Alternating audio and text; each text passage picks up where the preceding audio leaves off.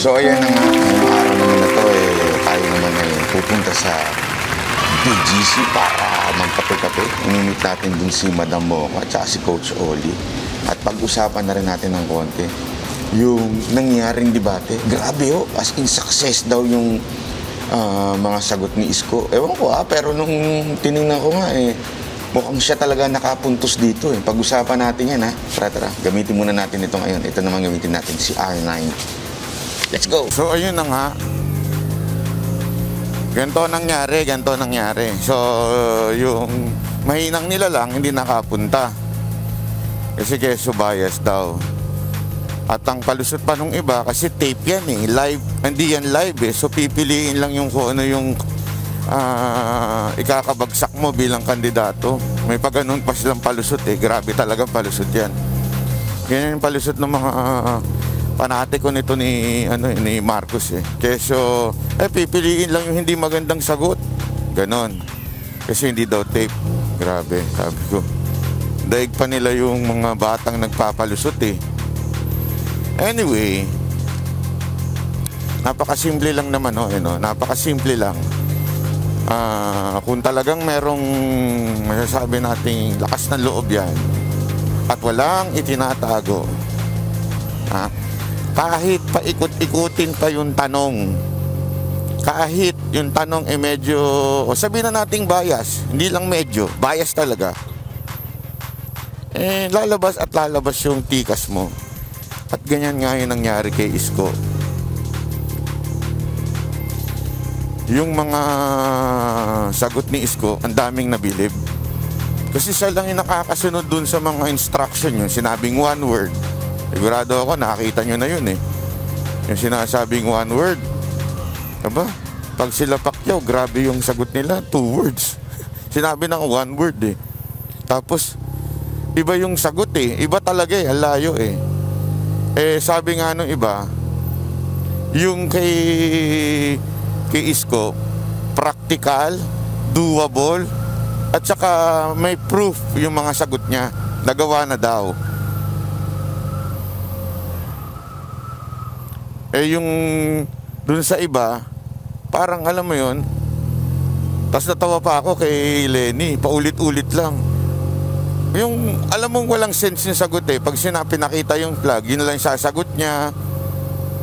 Wala man lang. Tapos meron pa sumagot doon yung pinakita yung Malacanang seat of power.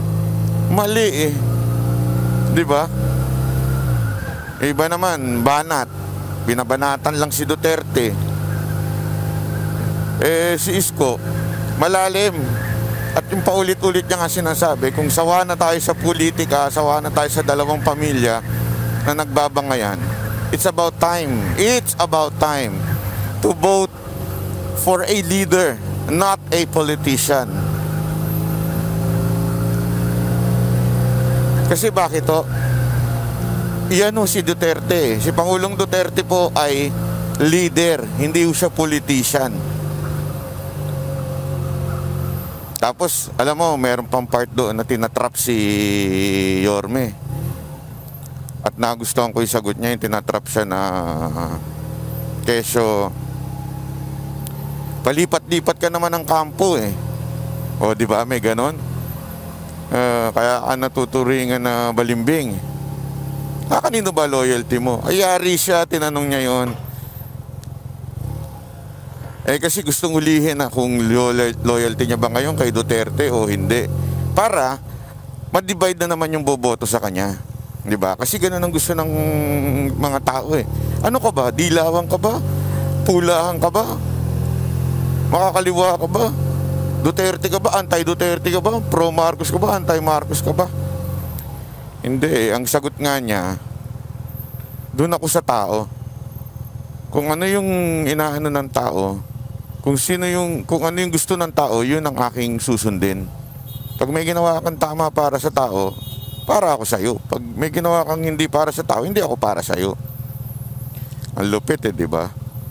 Sabi ko nga eh, hmm, I think ito ang ano eh. Ito ang pwedeng maging, ah, maging, alam mo yun, bibong presidente.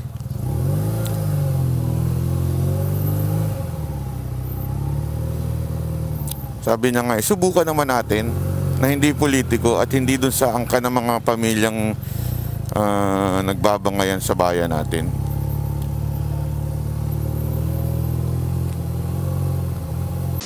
Ayun na nga. So, sa survey ni Senyora, nag number one ah, si Isko after the debate.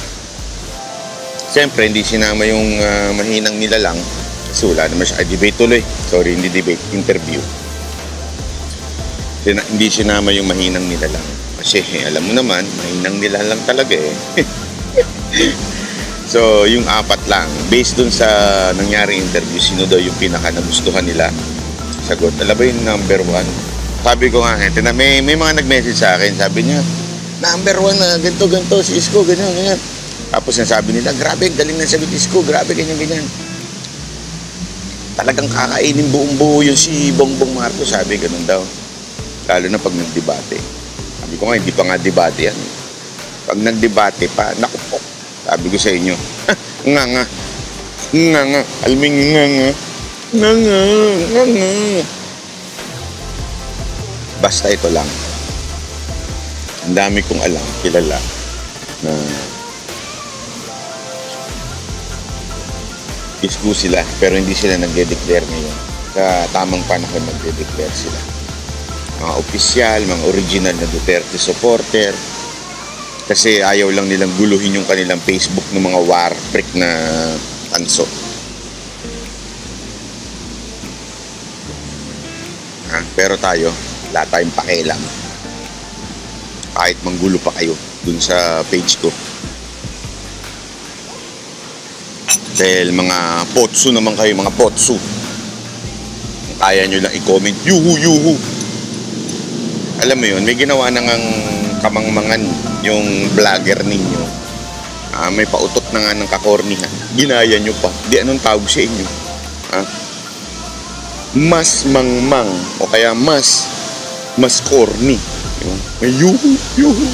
Nayuhu kayo, no? Nayuhu kayo.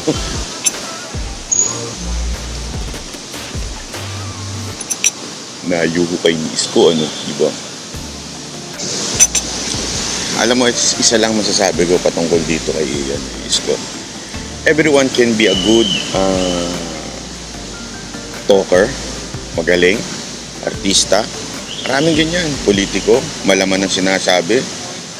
Ang pinagkaiba lang ni Isko, sa tingin ko ha, pwede siya magsalita ng ganun kasi may proof siya. May pruweba siya. Eh, kasi yung iba, wala. Kahit magsalita ka ng ganun, kung wala ka namang pruweba, di mukha kang eng-eng lang. Di ba? Naalala ko tuloy yung interview kay Binay nun. Interview sa kanya na para siya sa mahirap, ganyan-ganyan, tapos ganito. Pero kaliwat kanan yung akusasyon patungkol sa kanyang ano, hindi may paliwanag ng mga project sa Makati. Eh, eh tayo, kita natin. Hindi lang no, ano, hindi lang basta nagawa. Sabi nga, eh, hindi pa pwedeng ano lang, basta-basta lang porket gobyerno ko. Talagang big time. Sabihin, magandang klase. First class yung ginawa. Di ba? First class. Kawawa naman itong mga tanso na ito. Yak siguro sila ngayon. Paano? Pinanood ko nga yung ibang mga ano eh, mga, hindi bina, pinanood, binasa, tsaka tingnan ko yung mga ibang post ng mga bayarang vlogger, tsaka media. Sabi ko nga, grabe todo, palusot ang mga walang niya. Hirap i-depensa niya. Lahat ng angulo, didepensahan kahit mali-mali na. May nakita akong post. Sabi dun sa post, eh, ah, nung una daw na hindi umaten si Marcos doon sa interview, ang dami daw sinabi ng mga tao. Tapos ngayon daw, na-attend siya dun sa, kasi may announcement si Eboy Abunda at ah, a-attend daw, sabi dun sa announcement. Ano daw ba masasabi natin? Sabi ng iba, tameme daw. Sabi ko nga, mali nga eh. May napatunayan lang lalo, di ba? Yung pala eh, kaya naman pala niyang umatin sa interview, eh, di ba? Alam, kaya naman niya palang pumunta at uh, kahit nga sa video lang, kaya naman pala niya. Eh, eh bakit namimili siya na mag interview sa kanya? So doon pa lang, kitang-kita mo na na medyo mahinang nila lang talaga. Namimili ka kung sino yung sa tingin mo okay mag-interview. Di ba? Eh, ewan ko ha. Sa akin eh, bumabawi ka siguro dahil grabing ah, realization at bashing na natanggap ng kampo ninyo.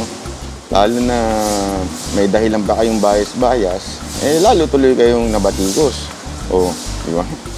Eh, sabi ko naman sa inyo eh, kung talagang matikas yan at saka walang tinatago, eh, haharap na sa interview. eh. Kahit sino pa yan. Kahit condescending pa yung mga question, kahit, ah, di ba, pwede ka naman makipagsagutan, harapan. Oh.